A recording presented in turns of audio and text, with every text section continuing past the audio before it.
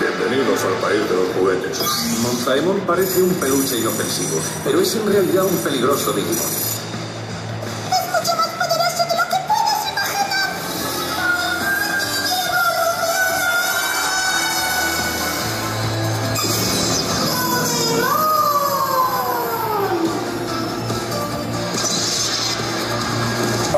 Christ.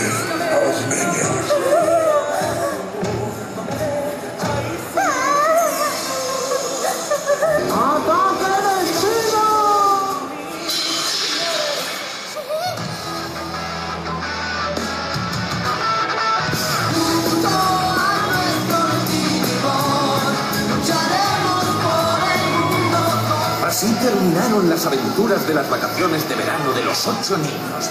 Pero la puerta no se había cerrado para siempre.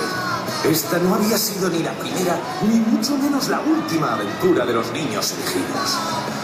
Seguro que la puerta al mundo Digimon se volverá a abrir si no os olvidáis de los Digimons. Y si lo deseáis con toda la fuerza de vuestros corazones. Sí, seguro que se abrirá de nuevo.